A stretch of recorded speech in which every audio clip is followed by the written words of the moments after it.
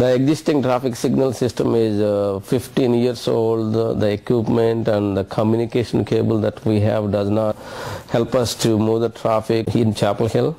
So the state decided to upgrade the system several years back. We designed the project and the construction of the signal system upgrade started last year. I expect to be completed uh, in August uh, 2012 next year.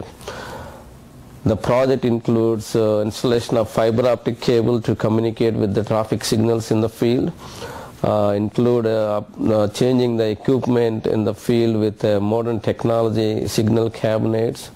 It also includes uh, 12 uh, cameras that monitor the traffic in Chapel Hill and Carrboro area. Uh, it also includes uh, bicycle activated loops and uh, some measures to improve the pedestrian traffic flow in Chapel Hill at signalized intersections.